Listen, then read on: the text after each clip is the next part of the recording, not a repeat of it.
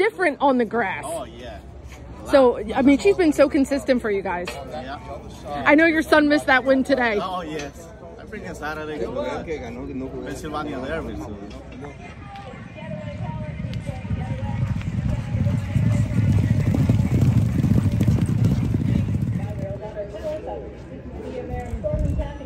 Thank you.